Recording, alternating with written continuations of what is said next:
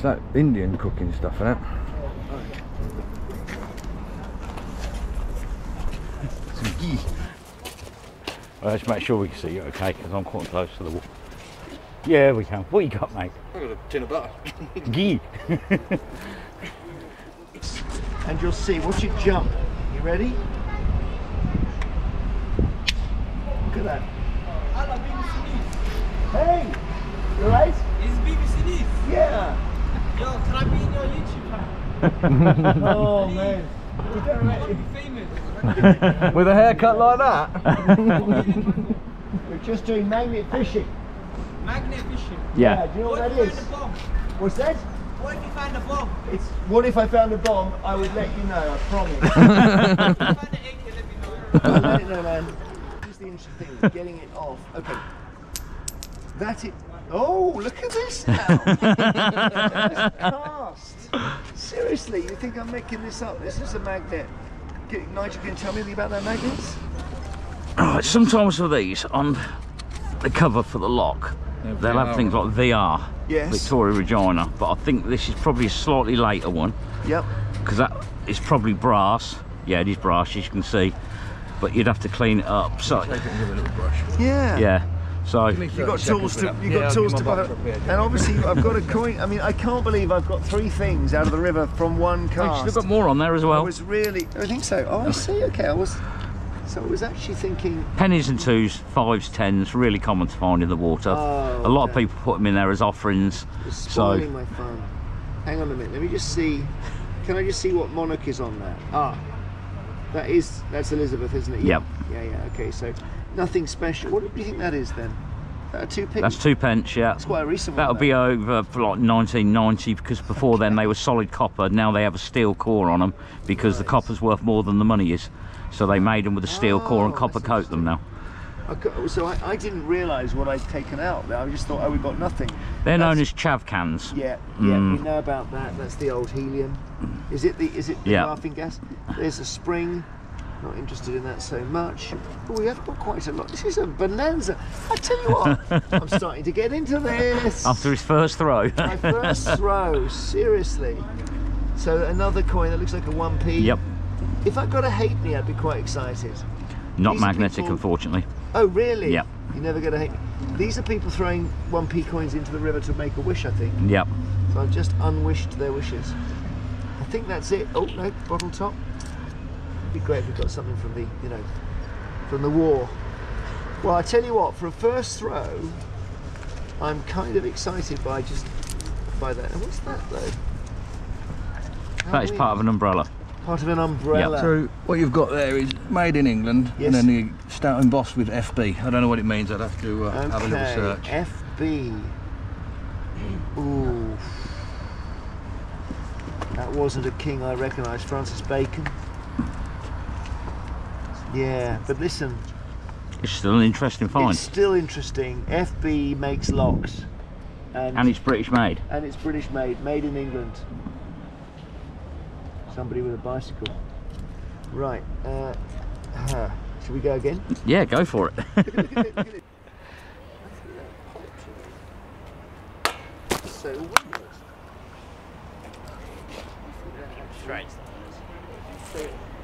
Idiot. Moly. The bloody hell was that? I think that's sort of hot. Is that a, Great. is that a, is that Nigel, this is great. Guys, honestly, I'm really loving this. it's a thing. Told you it's addictive. And You after two throws, Yeah, you never know what's coming Well, do you next. think that's good after two throws? Am I doing okay? Well, you're finding things. That's I the main thing. That looks like a hate me. I can't really tell. What's really writing on the Look can? at I like it. I'm just gonna test it. How's it going, Joe?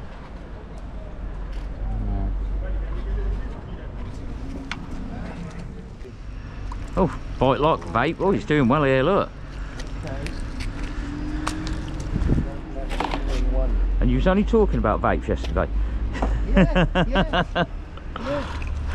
Oh my god. Okay, okay. So someone's Someone lost their bike. I'm just doing a bit of detective work here. We Got- find hundreds, got cut. You can find a lot, do you? Yeah. hundreds of bike locks. Bike Yeah. was stolen. Lock was cut. Bike owner upset. Throws it in the river. They are becoming a pain. The amount of them we're finding in there at the moment. Oh, that's annoying. That's a vape. That's ultra modern and quite annoying. You don't want to be finding those. This is interesting. That is a squash broom handle. A squashed broom handle. You can see the thready part on the end of it. From from back in the day. Maybe. Hmm, Yeah. More recent. It's all plastic coated. cheap and cheerful, isn't it? Yeah, and very squashed. It's got a thread on it there, you can see. Okay, we've got another of these canisters. A number of people, I know it's all the same guy using the helium, but someone's got a, a nasty habit. You can find a hundred of them at one location. Well, it's been pretty tragic, isn't it, really? Yep. Oh, oh, oh, there's another one. I keep thinking I'm going to find a World War II bullet. and, uh, huh? The coins are going up in value as well. You've got a 5p on there. Another coin. The amount of coinage in rivers, you could almost get this to pay for itself. Um, again, I'm sort of hoping that I could get a, a monarch before Elizabeth. That would be good. Yeah, only if it's stuck to Sunny House because they're not magnetic. Ah, I see, I see. That's why older coinage. I have found them before, but they've been in bags of mixed coinage because a lot of European money is magnetic. Yeah. So take a look. There we go. I mean, we've got, we've got an old uh, 5p there. No, not an old one. It's a, quite a new one. Yeah. That's someone making a very expensive wish. Wow. Are so weird, aren't they? Does it cause any health problems working with a magnet the whole time? Do you ever get feel sick or anything? Or No, think they hurt your no? fingers when you trap them against bridges. They do crack Yeah, bones quite I nicely. can believe that. So a lot of coins. What about that? Seriously. The key question, Nigel, is why you love it. I thought it's just different. It's just getting you out. You've got no worries. You just get on with it. Your focus is on the water, and it's just I don't know. It's it is really relaxing. It's energetic, but it's relaxing, and you always are like on the hunt. You want to find something better. Yeah. You find something good. You want to find something better, and it just keeps pushing you to keep throwing. What's the best thing you found today? Today, um, a cooking pot, believe it or not, a cast iron cooking pot hanging over a fire. Probably about 19th century one. Really? Yeah. Uh, and that's really cool. You've had a nice pedal, haven't you? Yeah, a really nice pedal. You know, it sounds a pedal, yeah, but it, it's off. BSA push bike, Oh, okay, from from back in the day. 1942. Yeah, and it's a um, Air, air, airborne. airborne generation 2. yeah. Well, World War 2. Do you think these glasses are, are necessary for? When the sun's shining off the water, Yeah, to be you see, honest with you, it will I- help. The, po- the polarised ones, they do help. We're not quite in the. Yeah, it's, it's, it's getting on for late afternoon here, but I can see how this is a lovely afternoon out. It's, Yeah. It's got everything. It's like a detective story. Actually. yeah. Maybe we should see before we stop. We should see your, the pot. Have we got enough? Stanley, have we got enough radio wise? Oh. Or do you want to? I think so, yeah, we can cut. Yeah. You think? Spangle. That I would say is probably a bangle, yes. Coins, coins, coins. It's weird to think we've gone. We've kind of gone cashless now. This may be. Because no one's got any left, it's all in the river. Yeah, exactly. Yeah. Nice little screw. Oh, oh, there we are. That's quite interesting. that is a scaffold tube joiner. Oh, okay. Again, I'm trying to be careful here.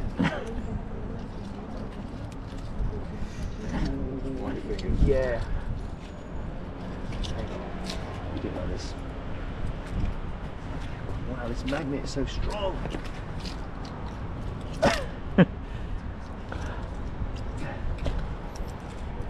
wow.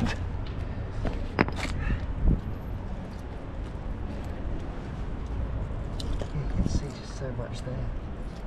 Plenty of money. He's on the 10p's now, look. Yeah.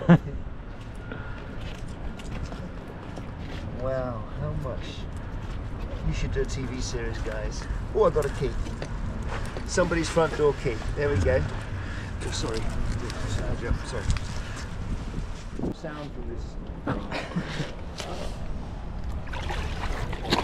Always. Hey Craig. Okay. Okay. Oh no, it's an Uber bike. Okay. Lime- That's a lime bike. Yep. Ah. So this is your, your AJ. So AJ, what have you just pulled out here? Um, It's like, like the electric hire bikes. Do you get those a lot? Yeah, and the Voi scooters and everything. You've got to wonder why someone would. The yeah, Boris use bikes, we those got so many of the Boris bikes. Tell you what, let's just, just give us me Big span. one. Leave it there for a second. Sorry. Um, I'm just, so just going to swoop this over. Just getting, so just do a little shot.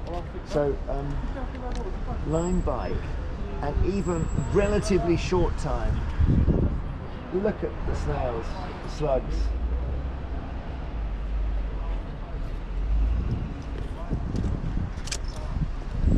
Wow, look at this, that's insane. That's a great, that's, I suppose, not something you're going to say that's a great find, but No, but it's got a battery in it, so it's better out of the water. yeah, yeah, I mean, it's good, to, you don't want this in the river. What will you do with this out of interest? That they will probably collect, believe it or not. Yeah, well, good for them. There's a number on there. Uh, they would have been paid by the insurance, but what they do is take them back and use them for parts. Say that, just say that again with me, with my camera, just say, what will they do with that? Normally they collect them, they're all insured, the insurance would have been paid out on them, but they take them back and use them for parts. Oh, good. I'm pleased. I mean, that's well done, AJ. Because how did you get that? What did you? What's your? Oh, is that? The hook. Okay. So that's not a magnet. That's a No, proper. yeah. No. It hooked it like in between them. Yeah. Sometimes with them you see a lot of them because of these can be Crayfish. yeah crayfish in there look Where? in there Oh my gosh. That's what this camera's for, guys. That's absolutely unreal. Sorry, I'm going your way. Do you want to, you, you get it as well. You get, get it out. Yeah. hey, AJ, that's fine. Leave it. And, and uh, that's, that's great. That's ridiculous. it's reversing So let's just, this could be a great little thing. This crayfish, hello mate, has just been liberated from a line they live in there Sorry, they live in all the Okay. slime and everything in the back there Just do this one thing quickly. This crayfish has just been liberated from this Lime bike which someone threw in the river and which AJ has hooked with this beautiful steel four pronged hook. And all these snails are now trying to work out what on earth has happened. And crayfish, you're about to go back in the water. Don't you worry, my friend. We won't leave you on the towpath. Are we live here? Yeah, we are, yes. Oh, so look, firstly, apologies for these, but I just thought I needed to bring some proper kit if I was going to be a Magnet Fisher person, and this is all I could find. But we have just had the three of us, four of us, five of us. Honestly, the best time. Is it six? Anyway, we've just had a most amazing time, and I have understood magnet fishing. I was always a bit puzzled by it. I now, thanks to Northants Magnet Fishing, I've seen how much is in the river. The fact that you've got um, just all, you know, lots of stuff that you don't want to find, like nitrous oxide canisters and vapes and so on. But turn this around, you'll see we've got a Lime bike here. This is just ridiculous. Look at that. Um, the river is full of stuff. And the first time I pulled at the rope, what was the best? I got some Allen keys that Yeah. look as if they're 50 years old. but do you um, understand now what we were saying about yeah, it that yeah. you- I can see how you could get, you could make this a Saturday out. a lot of people the on right here will understand that that they know what I'm saying. Once you've tried it, that's when you understand. Yeah. And you don't really understand it until you have tried it. But he's Yeah. really enjoyed it. I mean, I he's have, got yeah. excited over everything, which I is have. good. That's showing how Yeah. keen he is. I have, and what's funny is that the key test of it is. Sorry about these glasses again. I must apologise. When passers-by go down the towpath, how do they react? You know, and the answer is they all go, "What are you doing here?" Well, that's interesting. They all want to know what's going on. Yep. And I think if we were here for four or five hours, we'd all go home with something amazing. I really think that. I mean, the, the best thing so far, like just it came out just before I arrived, was this by your your colleague, yeah. And uh, look at that, it's a proper pot that was around. Someone was had that over a fire in the 1800s. So thank you, thank you, Northants Magnets. No problems at And I managed to avoid magnetising my feet or phone destroying my and your bank watch card. and my bank cards, apparently. Yeah. and he hasn't broken a finger, so Yeah. I'll pass you back to Aaron. Everybody we meet, Yeah. they gets one of these. Oh, listen. That's me, mate. That's it. I wanted. Uh, actually, I need a hat. I went to see Brentford, who aren't my team. and I got. They get me this hat, and I keep wearing it. My wife says, "You can't. If you're a Chelsea fan, you can't wear a Brentford hat." We did that to the Weird Britain presenter as well, didn't we? And he's Come and got, get in the photo, guys. he's got a memorabilia box, a weird Britain guy, and he, he's Yeah. going to take it and keep it in that box. Okay. Photo. So, okay. Three, two, one. Updates. Do one, two, trace up. Three. Right, so AJ had a Lime bike, which you probably saw on the live, but um, that's a Lime bike, that's pretty manky that is now. These stuff down here, this is all Jeremy Vine stuff, so I'm going to show you it anyway. He had a bike lock, he had a squash broom handle, and a padlock that's got FB on it, so Oh, I don't know. it could actually be a fire brigade padlock. So yeah, Aaron's going to take No, that. Terry's. I'm going to give it to Terry. Oh, okay. Loads- department. Uh, loads of chav cans, a vape, a tin, Allen keys, um, shopping basket, which AJ had as well. So, but yes, these finds here, all this money, really got Jeremy Vine excited because he, he was amazed at all this sort of stuff. But anyway, time for the final three. All right, is that on still? yeah. So I've got some tongs, a pair of bike locks, I've got a key, a multi-tool, a couple of heavy locking pins,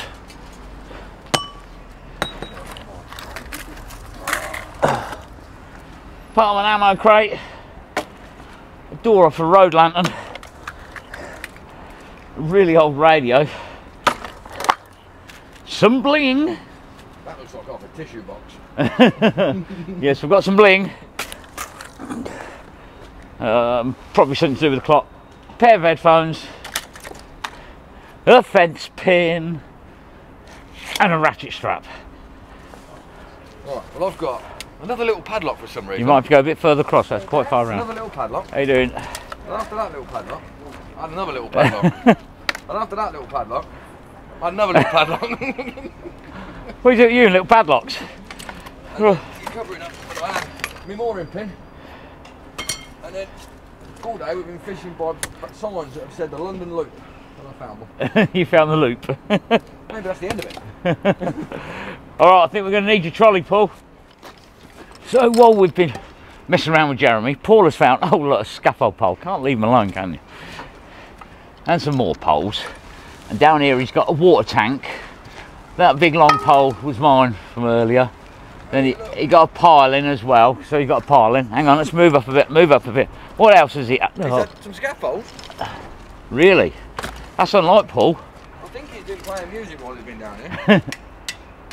You ain't got much of a ding. we don't like dings. Um, Jockey wheel. everyone and all. It's a fat jockey. CCTV? It's got a DVD drive in it. Yeah, it could be.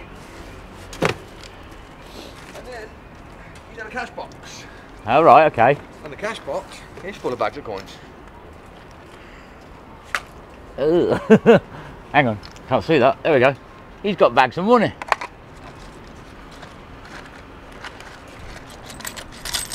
All Two that- P's. Two peas. I've got a crashed up trolley. Yeah, so there you go. there we go. Yes. What? And I got these things. Paul's going to show you a clamp of some description Looks like scaffolding tonight. and a gas valve by the looks of it. Don't forget your pipe. You've heard of fishing. Have you heard of magnet fishing? This is a new hobby, but really hit its stride during lockdown. And it involves visiting the nation's waterways with a powerful magnet and launching it into the canal or river. And the idea isn't to pull up a magnetized fish, but metal artifacts hidden under the murky water. And you can get a lot of rubbish, but you can also get incredible pieces of recent history. Bullets, guns, even bombs are common to find. And magnet fishers across the country country have recently made headlines for finding everything from Napoleonic cannons to 1,000 year old Viking longswords. So it's the thrill of the hunt that keeps people coming back and back again with their magnets. You never know what you're going to pull up next, and you excite, experience the excitement with a few friends. So it's it's something I had a go at myself. I've always wondered what's what's the interest in, in just dropping this thing into the river and then pulling it.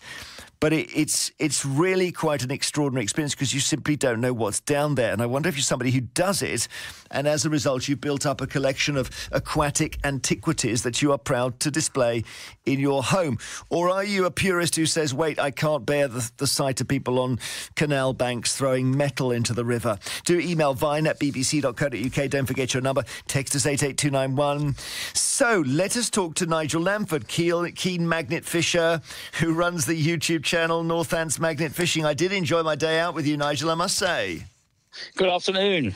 It was a very interesting day, and we had good weather for a change. Well, indeed. Now, so so tell me how you got into it. Um, I got offered to do it a long time before I started, and I could not see what interest and what point of doing it. And it was just one day I was on my way to the pub with my son, and there were some people doing it by a river close to me, and I just got talking to him, and I had a go, and I got a pole, and then I had another go, and then I got a lawnmower, and I thought this is actually quite interesting. you just don't know what's coming. So once we got home from the pub, straight onto Amazon, ordered some magnets. They arrived the next day and that was it. Uh, We went out on our first day. We pulled out a nice BMX and a sawn-off shotgun, and that was it. I'm hooked.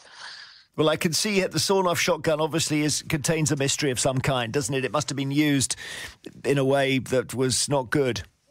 Yeah, the the Yeah. 80s cash card, as they called it. So look, you, you very kindly took me down to Hayes, as outskirts of London. Nigel showed me the ropes, and you you can hear now the moment that I had my first throw and I made my first finds. Big moment, this. First throw. Got to use instinct here. Magnet fishing, first time, launch now. Oh yes. Do you get a tug on the line or? Just pull it in. Oh, straight away. Yep. Oh right, I thought we were going to wait. Wait No, no, this is a lot of exercise. This it's throw and pull. I see. So we just do it again and again. Yep, that's it. Simple as that. Okay. Well, we've got something there. That's, what's that? How can that be metal? That looks strange. Magnets are weird, aren't they? okay. So we've got what I would call. Ah, I see what that is. It's a bit of piping. I think probably from uh, the Victorian age. No, definitely not. last week. okay. Yeah. This is the interesting thing. That getting it off the magnet. Look at that. The magnet is so powerful. Mm. Ah. Nice little screw. So what? Oh, there we are. That's quite interesting. That is a scaffold tube joiner. Oh, okay. Somebody's front door key. There we go. Nail. There's the spring. Not interested in that so much. Oh, we have got quite a lot. This is a bonanza. I tell you what, I'm starting to get into this. After his first throw. My first throw, seriously. That, that- it's, uh, funny. That doesn't sound as dramatic as it was because Nigel, you're, you're you're feeling, you're really digging into recent history, and you're finding all kinds of bits and pieces. Even a coin, even if it's a, a tuppence from 20 years ago, is interesting, isn't it?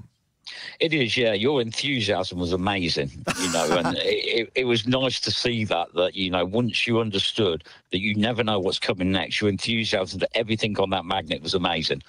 Well, I, I, I like the way that you d- weren't saying, look, Jeremy, it's just a load of old rubbish, because I was, even when I got a hairpin, I was going off the scale with excitement. I just I didn't think we'd get anything. The very last thing to get was a bicycle, wasn't it? Oh yes, the um, the bike that had been in there a long time because it was sort of like two tone, wasn't it? The colour of it, it'd been sinking in the silt, and um, yeah, it was another good find and another good thing out of the water. Well, we got it. We got a, a mo- that moment on tape. AJ, a young lad who was there with his dad, found found the bike. Have a listen. So we'll have it. We'll, we'll get some sound from this thing. ah. All I say. Okay.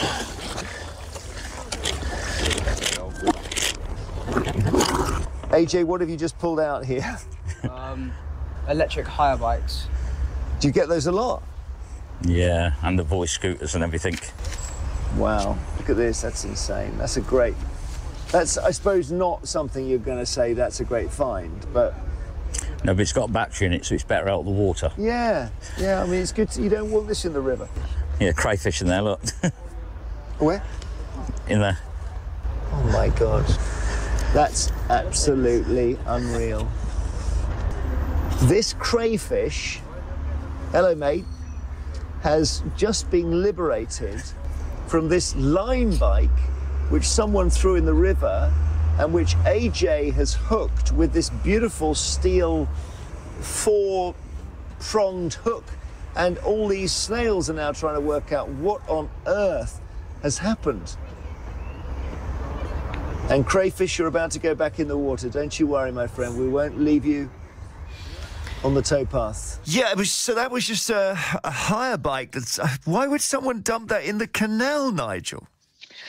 It's one of those questions why do people dump anything in the canal? I think a lot of these things probably end up from a drunken night on the way home from the pub where hmm. people just find it amusing. And unfortunately, we're at a generation now where people don't think of the waterways, they don't think of the long terms of it. And it's always been a good place to dump things that you shouldn't really have.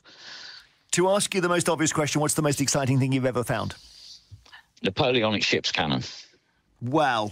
And how big was that? Um, it's about one meter ten. Um, it's pretty heavy, so let's put it that way. And um, that dates from around about eighteen ten, and um, that came out of the river in Sheffield. But the, the, when I came to see you and your, your friend on the canal, that you, you just found some German bullets, I, I seem to remember. Yes, they'd come out as well. They were uh, Mauser bullets, so.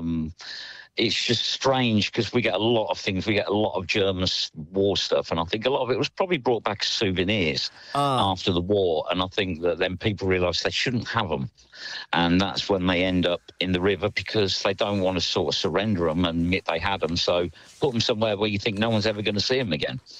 So you you uh, found quite a bit of stuff the day we went out, as I mentioned, and this is this is actually you running through some of your finds. What's the best thing you found today?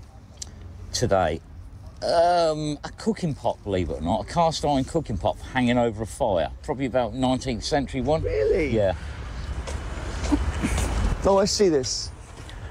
Look at that. That's that's just to me that's beautiful, and that's so. That, why- why has it got a hole in it? There? don't- yeah, I think it could be when Looks boiling like water Yeah. and that, but you see it would have hung on a pole across the fire. Look at that. And that's just today. That's proper cast iron. And things were made proper. Yeah, back in the day. And these are all dressmakers' pins. Just here at this bridge, Yeah. there's thousands of dressmakers' pins. The magnet's just covered in them. So, what's your theory? Is just a one-off incident where someone threw all their stock away?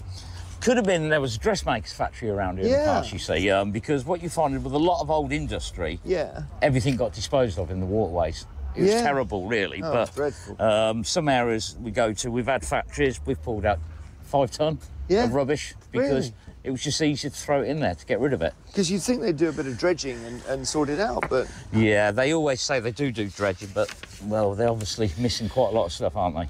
So Nigel Lamford of, of Northants Magnet Fishers. I've already had a friend get in touch wanting your details, Nigel. I might have to pass them on. She wants. I think she wants Right. to join Northants Fishers. right, okay. Do you ever get? Is there any? uh, She's not a snob, but is there any snobbery where people say, "Well, that's not what fishing is"? Um, we generally get a mixed reaction. I mean, a lot of the fishermen actually thank us for what we're doing because we're pulling out snacks, things like shopping trolleys and things Yeah. like that. They lose a lot of equipment on things like shopping trolleys. We can pull a tro- trolley out and there could be like 15 or 20 lures actually stuck to it because it snaps them up. I mean, the boaters are all good about it. Never really had a problem with fishermen, only if there's a match on, they don't want us near them, which I understand. And we, we just move on to another place. So, but never really had uh, people being, you know, angry at us for doing it. So, you know, I think from the point of view, they're happy about it. And I think the waterways are improving across the country for the amount of tonnage that comes out every week. And yeah, well, of course, you never throw it back. I know you're very responsible. So, and you, you, you know, you, where you have to get rid of stuff, you put it in an appropriate place. So that, as you say, you're clearing the rivers and having an amazing amount of fun. It was just such a pleasure to go out with you, Nigel. Thank you. Really enjoyed it. Thank you, me too, and regards to all all your fellow magnet fishers. I will pass it on. oh, thanks so much. So there we are, Nigel Lamford. You can look them up actually online. Northants Magnet Fishing. They are so they they are very very busy with magnet fishing.